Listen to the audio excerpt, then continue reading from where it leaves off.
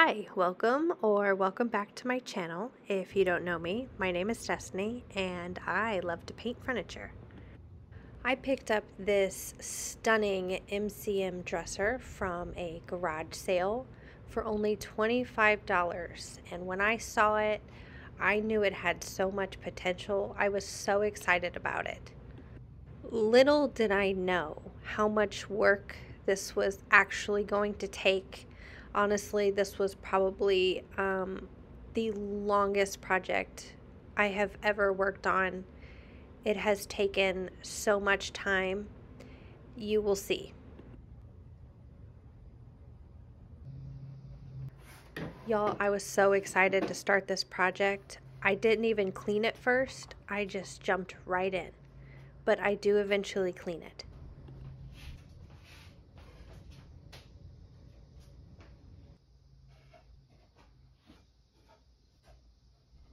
The next thing I did was lay the dresser on its back so that I could get to the base to unscrew it because we are going to remove this paint.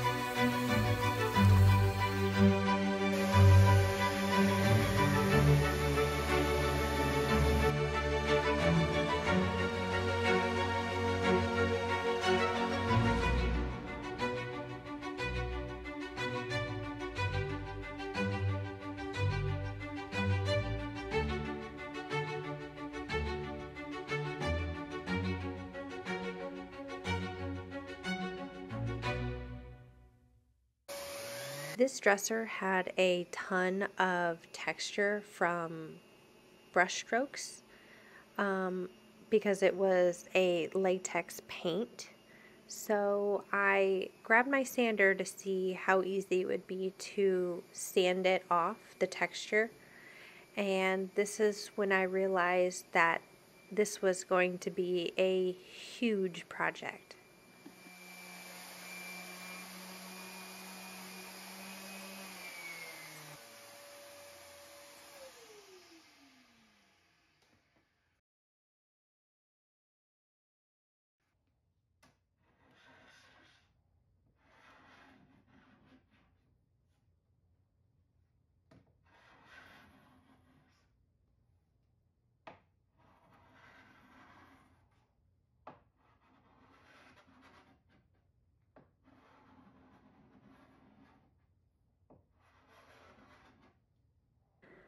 Honestly, I think it took me about four days to scrape all the paint off, and that doesn't even include sanding to make it smooth. This was a labor of love.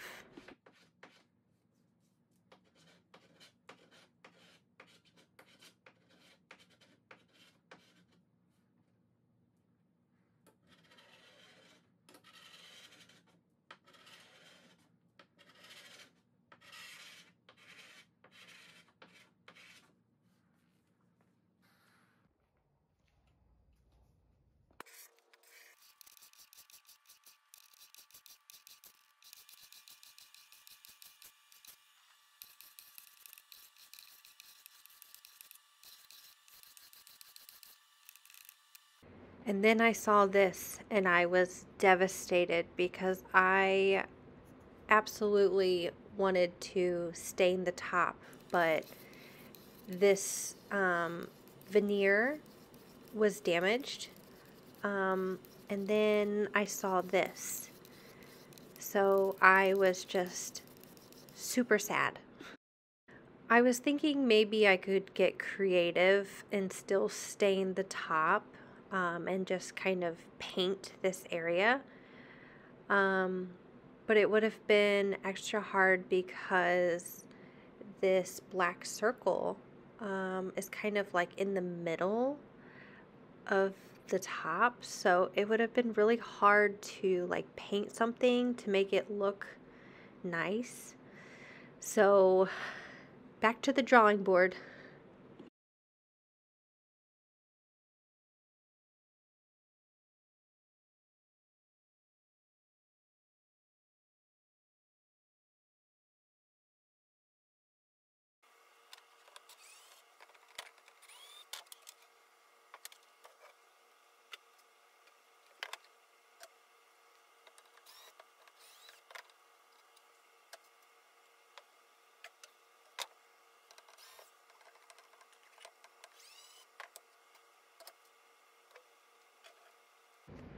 and this random nail on the inside of the drawer. I don't know, kind of threw me off. Weird.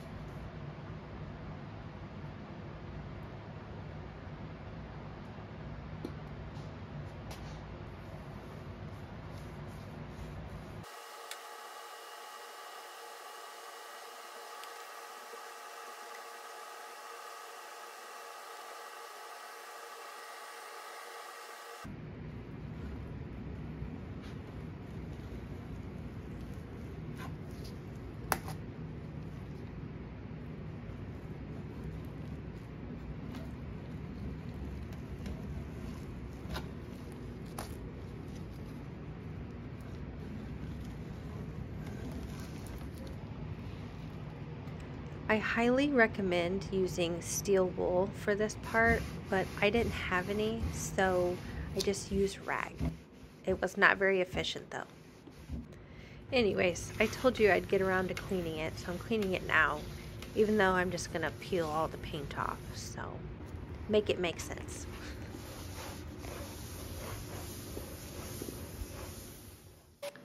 I was very determined to try to sand out the texture, but with latex paint, it just peels.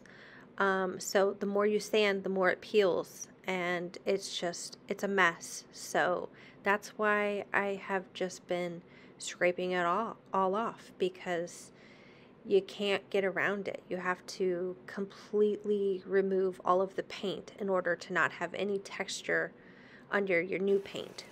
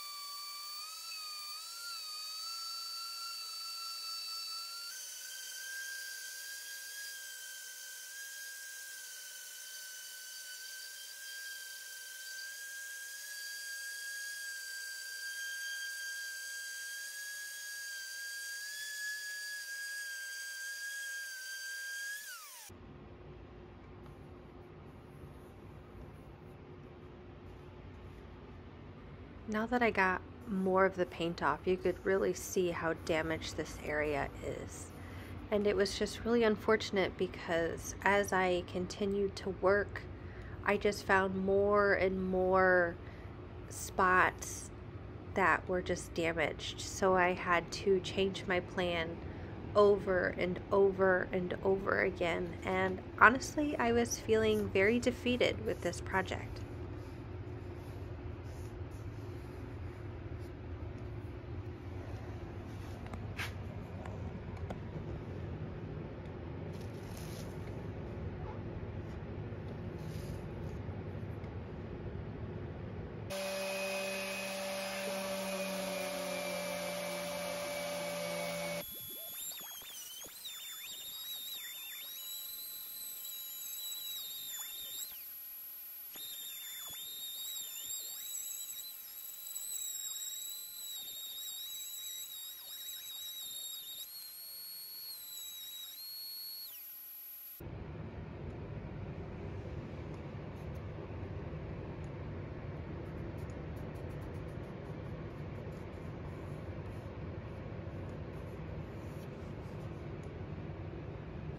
So as you saw, this dresser has a lot of damaged veneer. So I am using Bondo. It is a two-part epoxy that you use a liquid hardener. Um, and you have to work pretty quickly because this starts to set up as soon as you mix it together. Uh, work in small batches also.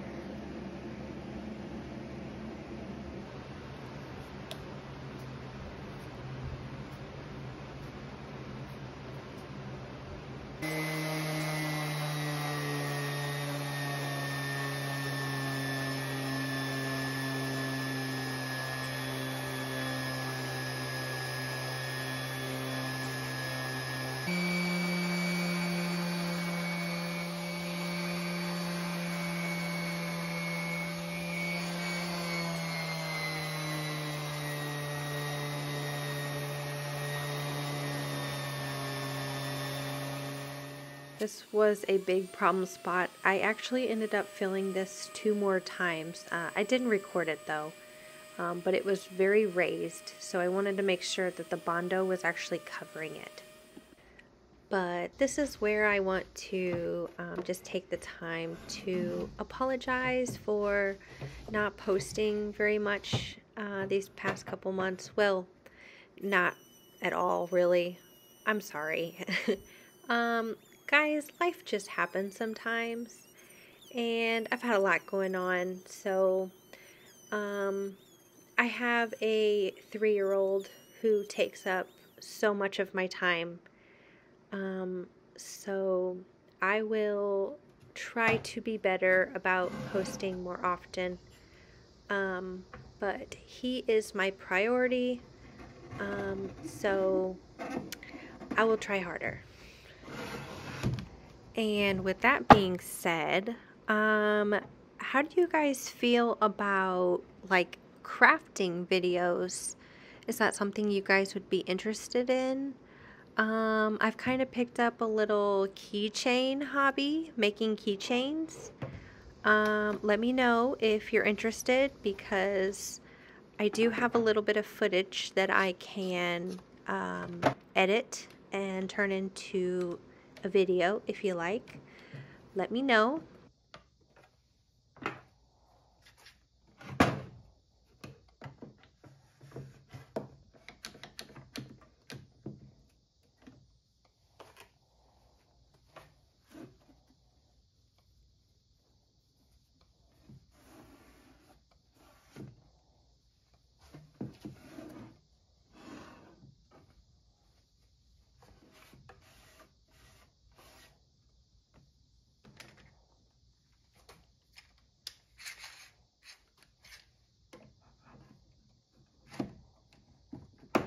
That's it.